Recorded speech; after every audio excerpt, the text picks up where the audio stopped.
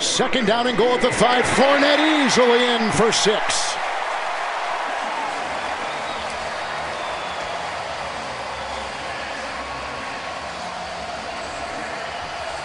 Now Bostic, he's going to step to his left. And once he does, I mean, it just opens up a huge hole backside.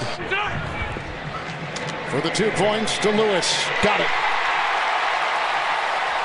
Or you could just drop back and throw it to Marcedes Lewis. He's six seven. Six foot seven. Six foot eight with his helmet on.